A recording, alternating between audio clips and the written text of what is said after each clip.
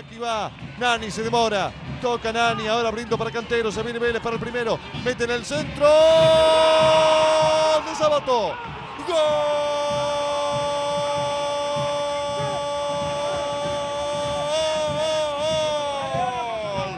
De Vélez a los 22 minutos.